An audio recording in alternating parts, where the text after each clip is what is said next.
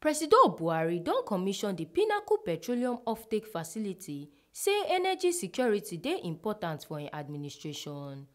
President of Naija Muhammadu Buhari don tok say provision of energy security dey very important to im administration.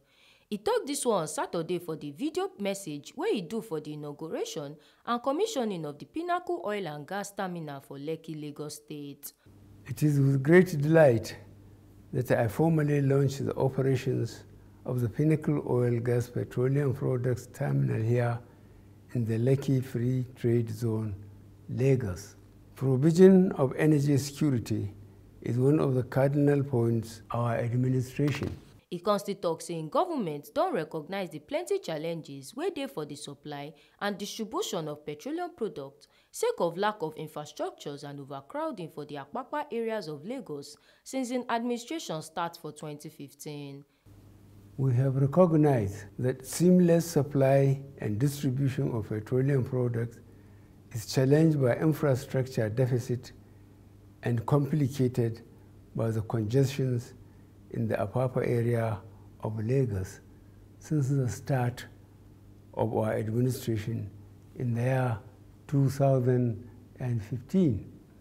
buhari wey tok say im administration don provide ogbonge support to the energy industry like good environment regulatory facilitation wey go ensure investment for critical infrastructure still tok say e dey happy say pinnacle oil and gas limited don use di opportunity wey im government provide to to build dia massive terminal facility. E still tok say di operatives don ease congestion for di apapa areas reduce cost of petroleum products and con say di delivery of products to oda parts of di kontri dey easy.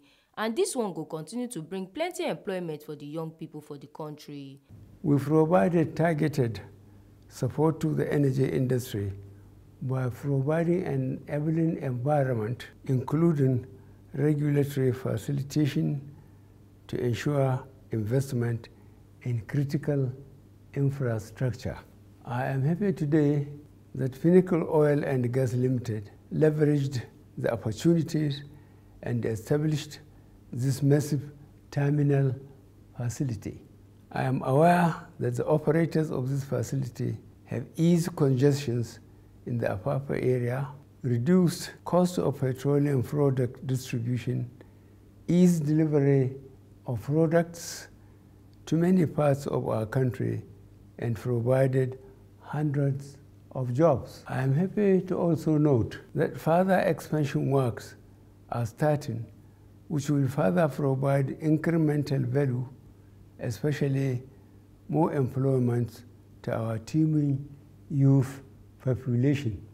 buhari con tok say di success wey im administration don achieve dey show for di plenty ogbonge investment wey don contribute to di economy of di kontri e con still tok say administration go continue to support and encourage investors for di reforms wey dem dey do for di oil and gas sector e con throway salute give pinnacle oil and gas for di work wey dem don do.